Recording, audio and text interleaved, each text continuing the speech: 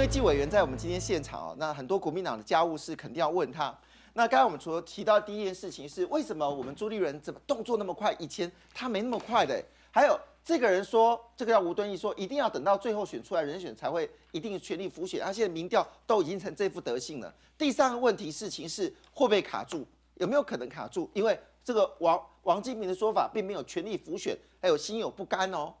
那还有这次这个提报中央合会，还有全代会是不是要正式提名副总统？那副总统人选是谁呢？洪秀就说，副总统条件要理念相同，品行端正，操守经的考验，省级区域性别能互相互补，希望比他年轻一点点，而且已经传出来，目前副副手锁定中部的男性，呃，对，加个男哈。中为什么讲中呢？因为这个很敏感哈。男性的企业家会是谁呢？这样不就呼之一出，就是我们一样被民调做掉的季国栋季委员了吗？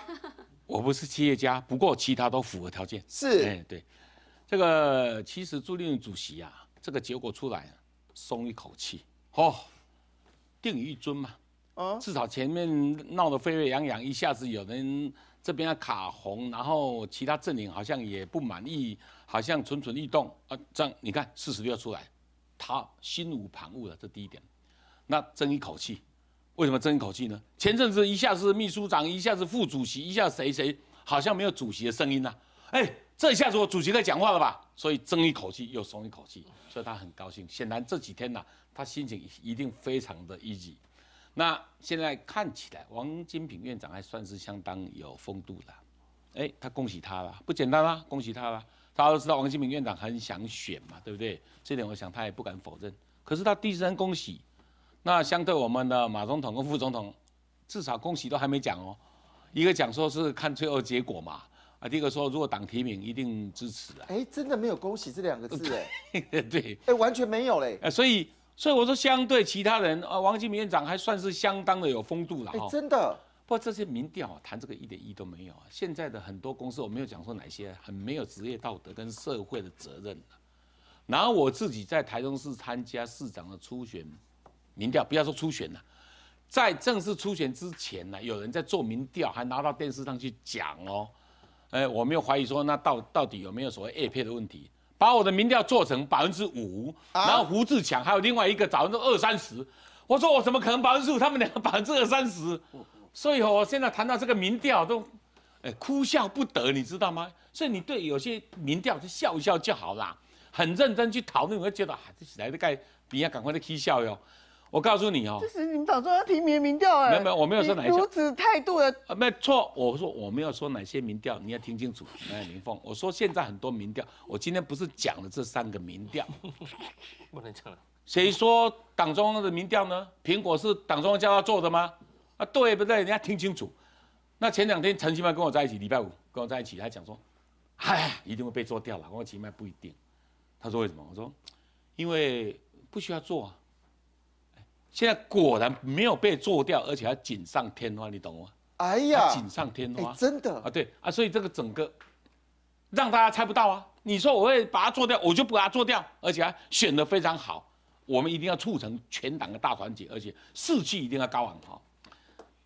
小英当然民调不可能会太高了，因为这段时间他成绩嘛，我不晓得对比是情况怎么样，我真的不知道。可能我想一定不会太高。这段几个礼拜以来呀，只看到一个现象，只有一个候选人在参选，然后这个候选人是一个苦命的女子，备受各方的打压，历尽人生难堪之境，然后呢，赚人热泪，让人义愤填膺，然后终于撑到十二十三的晚上呢，全国民众支持者都不敢出外外出跑脱，就在家里等电话，哎呀，就在讲我就支持猪猪姐，你看这样一个氛围，能够不高吗？能不当选吗？能不提名吗？副总统，对不对？我们的董大妈说，能不这样能不赢吗？这实在，嘛问题是，你在这块块动我不啦，对不？啊？刚刚跟翟翟省在一起，然后我们文雄兄要讲成宅男，他说怕撑不了半天呐，所以续航力很重要。续航力就是一个礼拜以后是不是这样子？两个礼拜、三个礼拜、一个月之后还是不是这样子？很重要。除了他这段时间几个礼拜以来，就是他在捧他之外，还有旁边围了一大群的七矮人，好几个矮人的男人在那边跳舞，更凸显他的高度。这几个矮人就不能讲七个，矮人应该是有四个矮人哦不 不很多啊，好吧，我勉强把它凑成七矮人在跳舞。还有重重点还有一个你们都没有想到的，什么啊，周玉蔻今天没讲，我要借他的话讲，啊？他口中的佛地魔都没有出来。